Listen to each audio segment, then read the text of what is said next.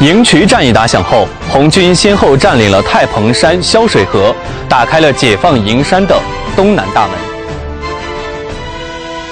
在二十九号夜，红三十军越过敌几道封锁线，攀上悬崖峭壁，迂回敌后，一路占领倒背梁，一路夺取敌制高点火力，两面夹击，迅速占领佛楼寺。十月一号晚上，红军分东西两线多路开进。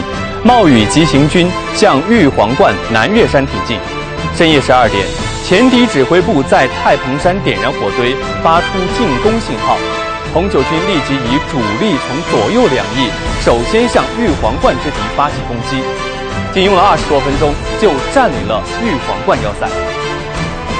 红军占领玉皇观后，敌左翼防线被打开缺口，失去犄角之势。南岳山守敌独立难支，红军三面围攻，激战至凌晨，敌军便仓皇败退，红军占领南岳山。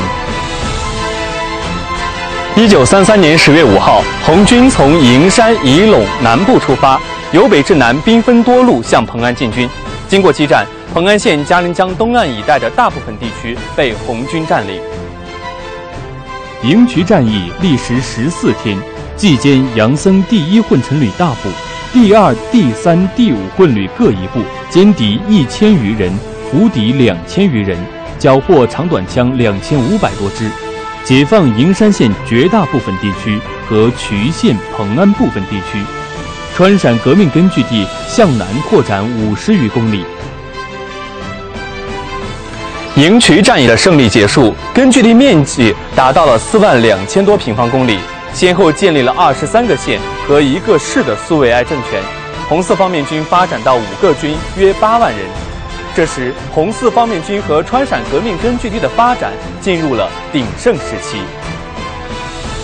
一九三四年一月，毛泽东在《关于中华苏维埃共和国中央执行委员会与人民委员会对第二次全国苏维埃代表大会的报告》中指出。川陕苏区是中华苏维埃共和国的第二大区域。川陕苏区有地理上、复原上、战略上和社会条件上的许多优势。川陕苏区是扬子江南北两岸和中国南北两部间苏维埃革命发展的桥梁。川陕苏区在争取苏维埃新中国伟大战斗中具有非常巨大的作用和意义。